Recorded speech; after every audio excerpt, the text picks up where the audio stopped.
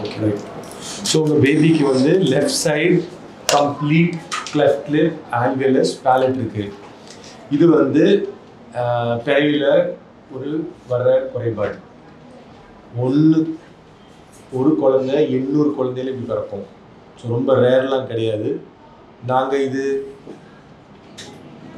பதினையாயிரம் பேபிஸ் பண்ணியிருக்கோம் இருபது வருஷத்தில் பதினையாயிரம் இப்போ கூட நீங்கள் பார்க்கலாம் டெய்லி அஞ்சு பேர் வருவாங்க. ஏதாவது ஸ்டேஜில் ஸோ அதனால் ரேர் கிடையாது. நீங்கள் நினைக்கிற மாதிரி. நம்ம பொதுவாக வெளியில் பார்க்க மாட்டோம். அது வேற. ஏன் பார்க்க மாட்டோம்? இன்னொரு காரணம் அதை பண்ண நார்மலாக ஆக்கிடலாம். அதனால ஒரே பண்ண வேண்டியது தேவையில்லை. நம்ம டைமுக்கு சர்ஜரி பண்ணி கரெக்டாக நாங்கள் சொல்கிற மாதிரி பண்ணீங்கன்னா எந்த குறையும் இருக்காது பாப்பாவுக்கு. நம்மள மாதிரி நல்லா பேசுவாங்க. பார்க்குறதும் ரொம்ப ஒன்றும் குறை இருக்காது.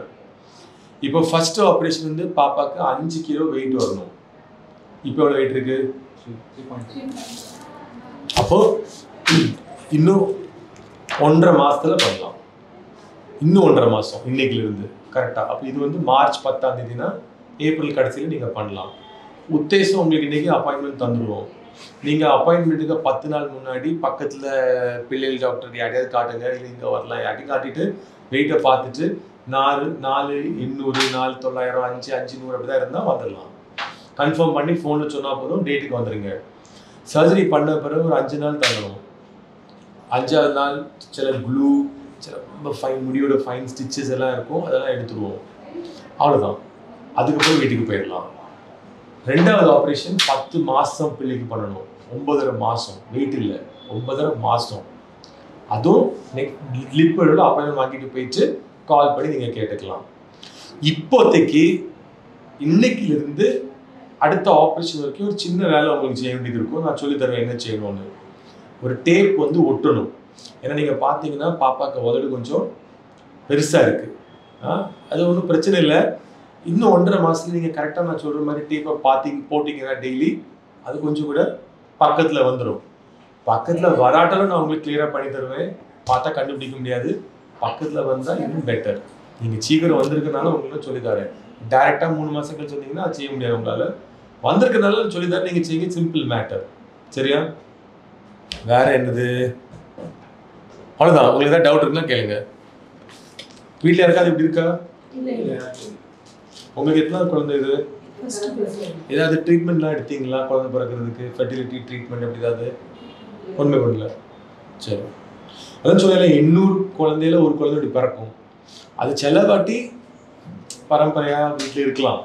ஆனால் முக்கால் வாட்டி சும்மா வர்றது தான் சும்மா வர்றது தான் வரி பண்ண வேண்டாம். சரியா? இப்போ என்ன பண்ணணும் பாருங்க இந்த மாதிரி டேப் தருவோம். இதை வந்து இப்படி கவரில் இருக்கும். இதை உள்ள ஓப்பன் பண்ணி ஒன்று எடுத்துட்டு சைடில் ரெண்டு சைடு இருக்கும் இப்படி இதில் ஓப்பன் பண்ணி ஒன்று எடுக்கணும். இது பிடிச்சி எடுத்துட்டு இங்கே வாங்க காட்டுக்காரன். ஸோ என்ன பண்ணணும்னா நீங்கள் ஒன்றும் இல்லை இந்த கன்னத்தில் இப்படி ஒட்டணும். சரியா ஒட்டி நல்லா டைட் ஆயிரும் அது. அப்புறம் இப்படி வச்சுட்டு இந்த கன்னத்தில் டைட்டாக ஒட்டி வைக்கணும். ஸ்டார்டிங்கில் ப்ரெஷர் அழுத்த மாதிரி இருக்கும். அவ்வளோதான் இப்படி மாற்றி மாற்றி போடணும். ஃபுல் டைம் ஆ. இப்போ ஒரு டேப் ஆறு மணி நேரம் எட்டு மணி நேரம் பத்து மணி நேரம் ஒர்க் ஆகும். அப்புறம் என்ன ஆகும்னா பால் படம் தண்ணி படம் லூஸ் ஆனால் எடுத்துட்டு தொடச்சிட்டு ஒரு பத்து நிமிஷம் வச்சு அடுத்தது போடணும். இது இங்க கிடைக்கும். வாங்கிட்டு போங்க. இது மட்டும் நீங்க அடுத்த ஆப்ரேஷன் வரைக்கும் பண்ணுங்க. இதான் உங்களுக்கு வேலை. சரி. டைட்டா இருக்கணும். புரியுதுல்ல? அதான்.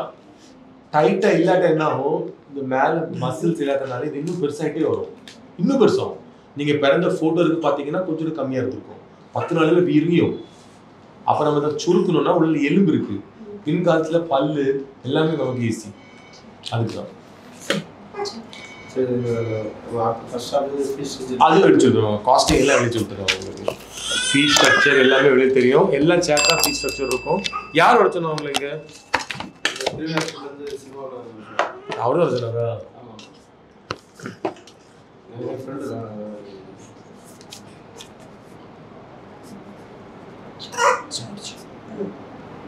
அப்பாயின்மெண்ட் தோ?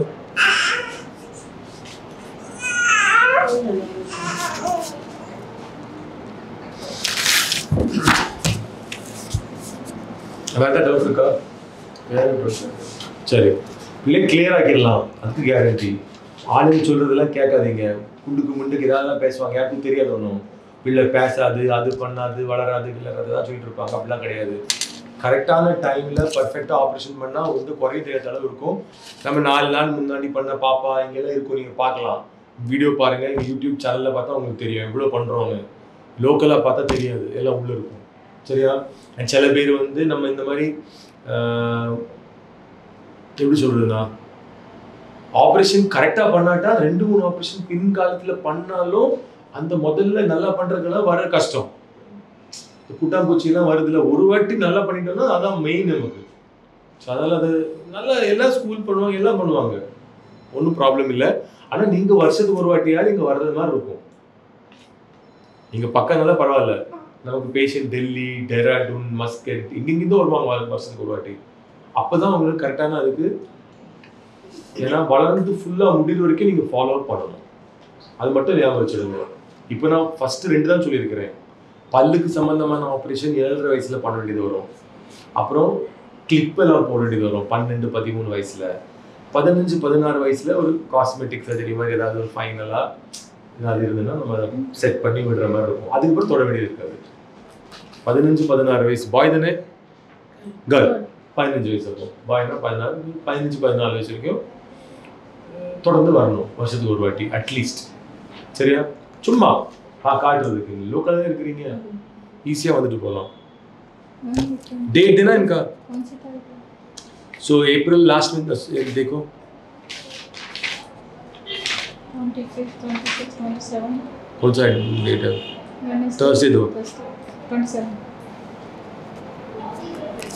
April இருபத்தி ஏழு நீ வாங்க சர்ஜரி டேட்டு அது நாலு அரை தூ கிலோவோட கம்மியாக இருந்தால் வராதீங்க நாலு அரையோட ஜாஸ்தி இருந்தால் வந்துடலாம் ஸோ ஒரு நாளைக்கு நாள் முன்னாடி பக்கத்துலேயே வெயிட் பாருங்க நீங்கள் வரத்தாவே பார்க்க குறிப்பிட்ட கடையில் என்ன பிரச்சனை இருந்தாலும் அதை பிள்ளை டாக்டர் கூப்பிட்டு அதை சரி பண்ணிடுங்க இங்கே லோக்கலாக நீங்கள் ஜஸ்ட் கரெக்டாக ஆப்ஷன் வந்தால் போதும் வந்த நாங்கள் திருப்பி பிள்ளை டாக்டரை காட்டுவோம் திருப்பி பிளட் டெஸ்ட் பண்ணுவோம் எல்லாம் பண்ணுவோம் அன்றைக்கே பண்ணுவோம். அதுக்கப்புறம் ஆப்ரேஷன் சாயங்காலம் இருக்கும் அதுக்கப்புறம் அஞ்சு நாள் தங்கணும் தங்குறதுக்கு மெடிசன் ஐசியூன்னா ஐசியூ இருப்பாங்க சரியா? வேறு டவுட் இல்லை? இல்லை தாய்ப்பால் கொடுக்குறீங்களா? ஏன் கொடுக்குறது தாய்ப்பால் கொடுக்கலாம். கொடுக்கணும். அதான் பெஸ்ட்டு ஓகே அதை ட்ரை பண்ணுங்க. Welcome bye